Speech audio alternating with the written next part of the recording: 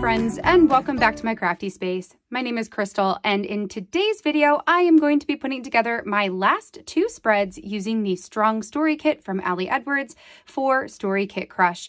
This is a series where I pull out one kit every month from Ali Edwards to use it up throughout the course of the month, trying to get as much of that product used and as many stories told as possible.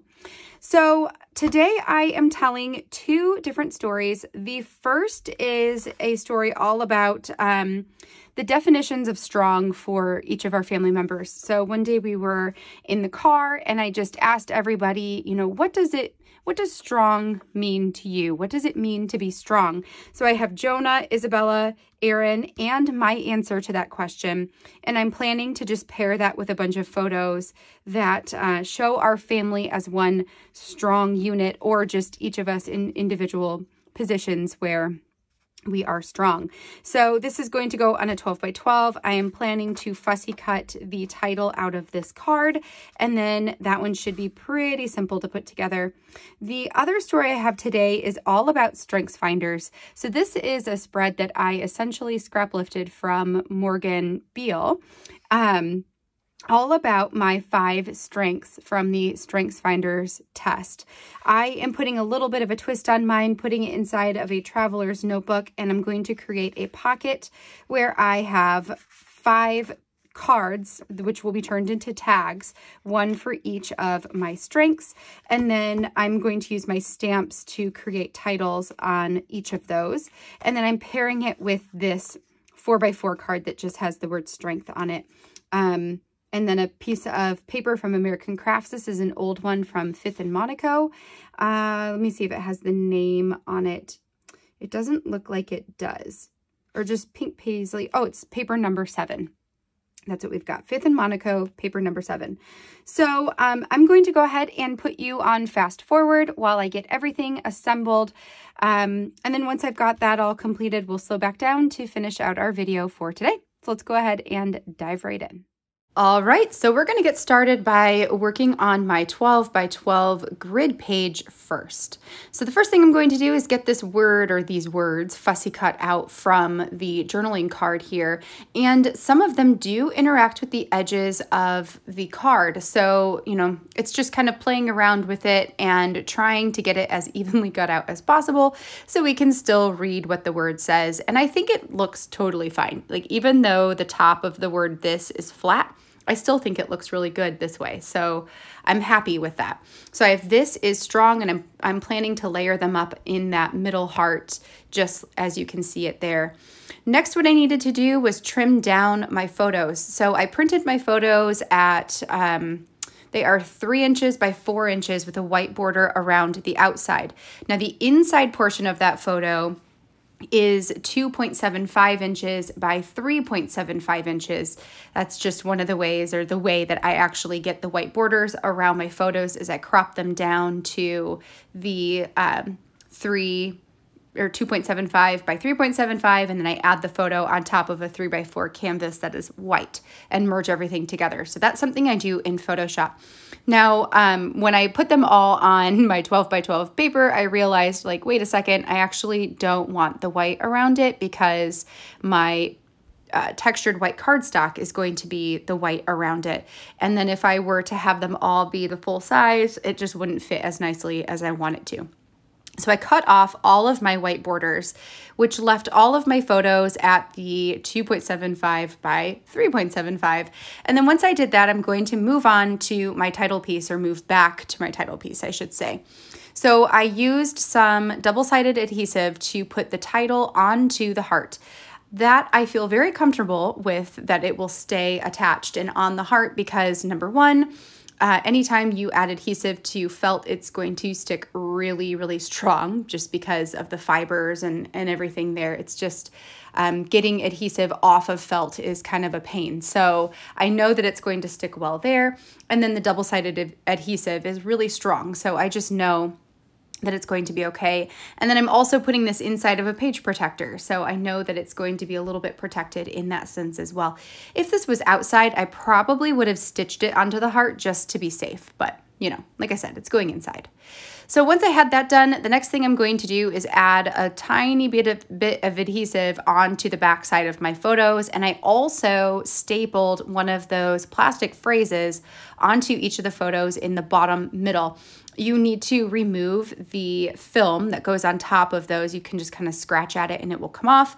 And then I stapled it on there. And for the photos that are not quite three inches wide, I did just trim off the excess that goes on both of the sides. So and it looks totally fine.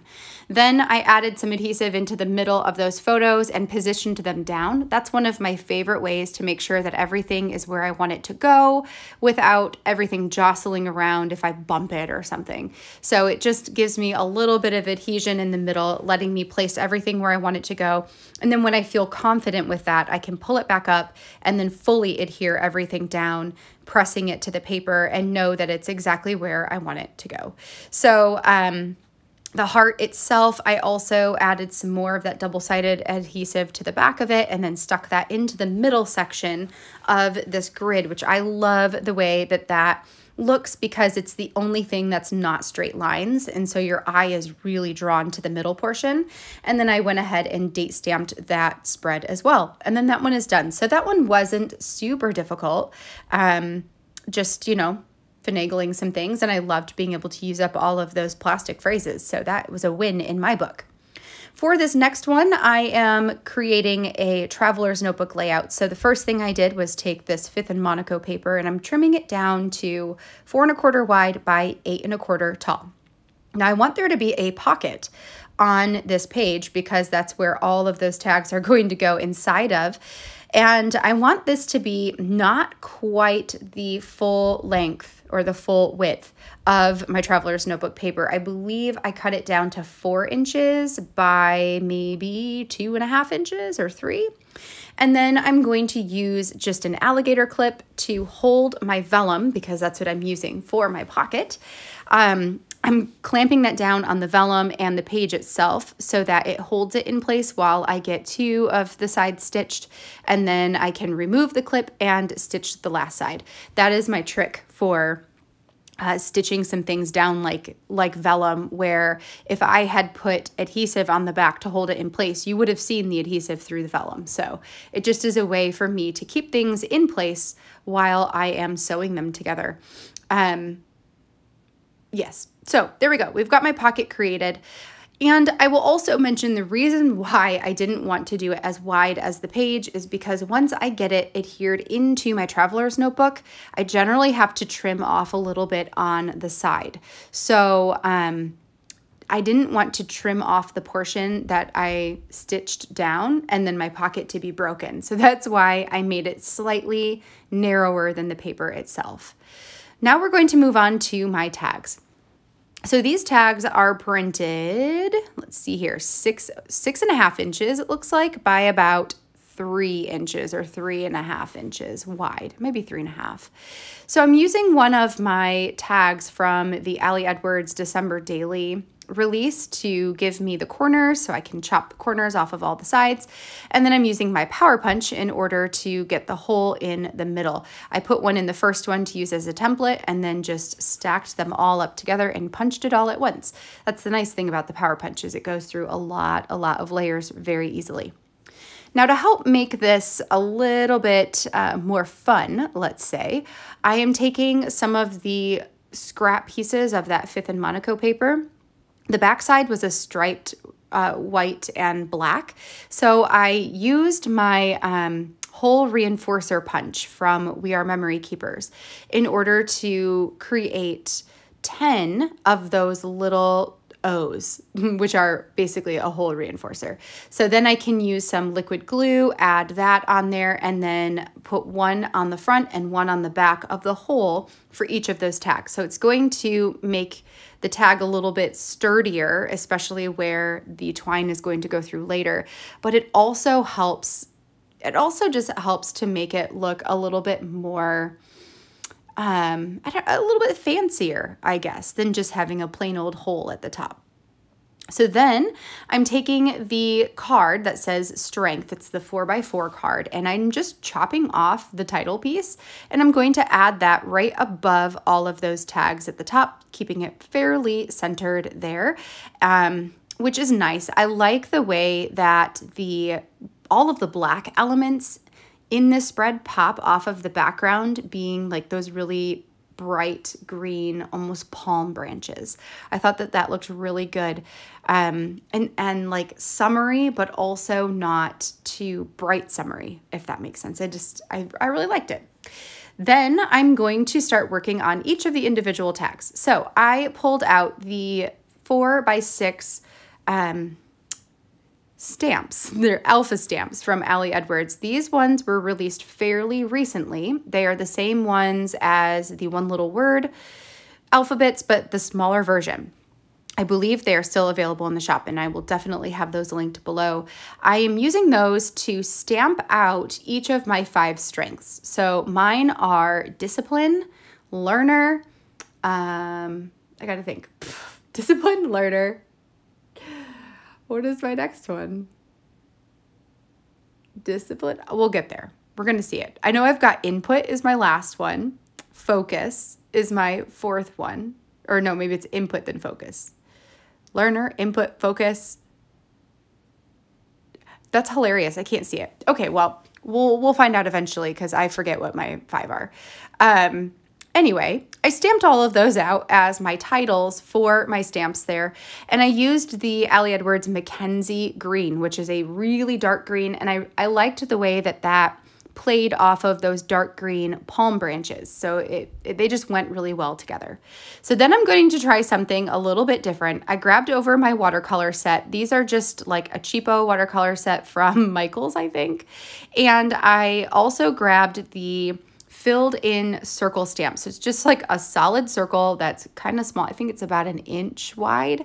And I am using different shades of green watercolor and I'm watercoloring basically on top of my acrylic stamp and then stamping it onto paper. I wanted to do this because I wanted there to be a little bit more color variation in this portion, in this little stamp bit right here, because I will eventually stamp inside of those circles the number one through five, but um, I just wanted it to be a little bit different, a little bit more artsy, I don't know. And then I also was very inspired by, I think, I don't know if Morgan watercolored hers, but, or she might have taken them from the digital. There was a card that had one, two, three um, with green circles, and they were watercolor circles. So I really just loved the look of that. So thought, well, why can't I just do this myself? So that's what I'm doing. Um, on all five of these cards, I'm stamping the circle above the word whatever the word is, above my strength. So kind of closer to the circle, leaving a little bit of space underneath because I also want to add something underneath. Oh, there it is, achiever. There. So maybe, wait, I'm achiever? Discipline's number three. That's why I was confused, you guys. I am achiever, learner, discipline, input, focus. Or it might have been focus input we'll find out again when we as we put this together. See, all this stuff is still fairly new to me that I don't have it all memorized. Anyway, um, I am setting all of that watercolor stuff to the side to dry while it is drying. And that's because I didn't want, I wanted there to be, um, I wanted it to be as saturated on the circle as possible. And I felt like if I used my heat gun that that would take away from that or it would spread it out too much. And I just wanted to let it dry. I had some time, so why not? And then in the meantime, I am attaching in the main pages into my notebook. You can see here that the middle portion is starting to come undone from the staples. That's okay. Once I get this album filled up to my liking, I will actually take those staples out anyway and stitch this book closed. I prefer my traveler's notebooks to be stitched. Um, they feel a little bit sturdier that way. They seem to always break apart with staples. So I just leave the staples in and then eventually I will remove them and sew it because yeah, why not? Okay, so then I've got my photo in there and my photo is just gonna be a photo. I don't even think I embellish it at all. It's just like a silly photo to go next to it. I guess it's not silly, it's just a selfie or whatever. But that is next to my pocket page here. And then I am trimming off the excess and you can see that I almost still put that pocket too close to the edge. It made it, it's okay, um, but I definitely could have put it closer to the inside. Oh well. Now we're going to work on finishing up these tags. So they have dried, it looks really cool. See how, I mean, you guys, that looks so cool the watercolor portion. I grabbed my story stamp back over again, and this time I am grabbing the stamp that says current strengths because that makes sense. And I'm using my scrapbook.com black permanent, permanent, I don't know why I said permanent, black premium dye ink, and I am stamping current strengths underneath the circle and above the different um, strengths or the different, you know, whatever those are, titles. So that goes in between. And then once I have that on all five of these tags, we're gonna start working on the numbers. So I thought it would be really fun to try and stamp numbers inside of the circles and I'm going to use the same stamp set from earlier. It also has the numbers one through eight, which you just flip around the six and that gives you the nine. So it has all of the numbers that we need. Um, and for each of them, I'm going to stamp a zero and then the number. So zero, one, zero, two, zero, three. And um, I thought it would be fun to try embossing that. I haven't embossed anything in a very long time. In fact, I got this scrapbook.com embossing ink pad. It's like clear embossing ink, and I've never even used it. I feel like I've had it for a couple months and just like never used it. So this was my chance to finally pull it out and use it. So I stamped down the zero one. I grabbed a little paintbrush in case any of the embossing powder got to a place where I didn't want it to go so I could swipe it away.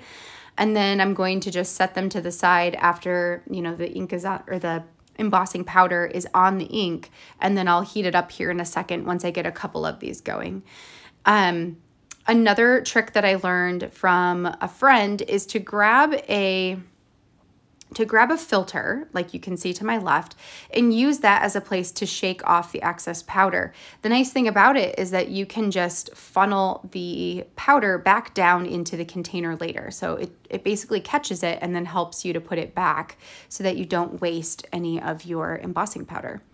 Um, and then I'm just adding enough powder on top of the numbers just to cover the numbers and that's it. So it's not really getting everywhere. It's I'm keeping my spot pretty darn clean, really. I think after this one, I'm going to start heating them up. I have a heat gun going. Um, I felt at this point that I kind of wanted to see what they would look like once I started heating them up. They turn a nice white, um, like a really nice white, and I, I love the way that it looks. So then we're gonna finish this up with number four and number five. So if you've never heard of Strengths Finders before, it is basically a personality test of sorts, which if you didn't know, I am a psych major um, from college. That's what I got my degree in, and I'm fascinated with anything to do with personalities or brain functions or like all that stuff just like totally gets me all geeked out. Um, so I had never heard of Strengths Finders before until we were in a discussion about it with the Ali Edwards creative team. And a bunch of them had taken it. Morgan Beals, like a Strengths Finders, like expert, I would say. And uh, she was getting us all to take the test. So I thought it would be really fun to go and take it. Basically, um, it puts you in a lot of like, there's a bunch of questions about situations and how would you respond and like, you know, is this more you or is this more you? You know, typical type of um, personality test. But then um, the answers, what it tells you are things that you are really good at, like things that you have a strength in. Like, for example, one of my strengths is achiever.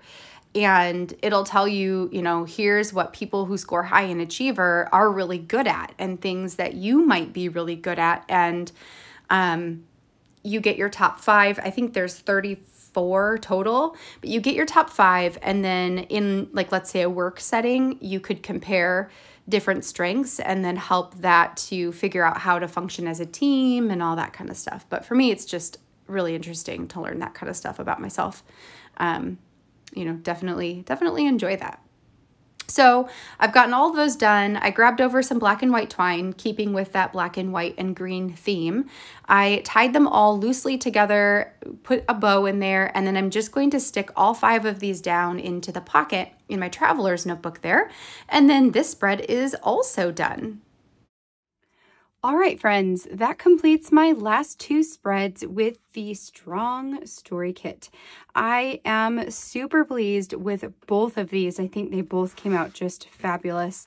So we've got the This is Strong story that's just our definition of strong for the various people in our family and photos that I felt like went along with the theme. And then my Traveler's Notebook uh, Strength Finders pocket with all of my different strengths. My top five strengths are in here. So we've got one, two, three, four, and five. I tied this loose enough that they can still be turned so we can still see them all, but they are kept together and I like the little pop of black and white in there as well. So I'm just going to stick that back down in there and then we are going to call this one good. All right, well, I hope that you enjoyed seeing all of these spreads come together. If you did, I would love a thumbs up on this video down below. And make sure you hit that subscribe button so you can see all of my future crafty content. Next month, we are going to be starting our next round of Story Kit Crush. I'm going to be working through the Laugh Story Kit. So, um, just working with lots of different ideas for different stories to tell and seeing how much of that kit I can use up, which hopefully I can do all of it yet again. If you would like to join in with the Laugh Kit or any story kit that you have in the month of August, I would be so, so happy to see all of your projects. Just hashtag them with Story Kit Crush so I can be sure to see them, read them, and share them over on Instagram. All right, friends, well, that's going to do it for me today. I hope that you have a wonderful rest of your day. Enjoy your weekend, and I will catch you in the next video. Bye, friends.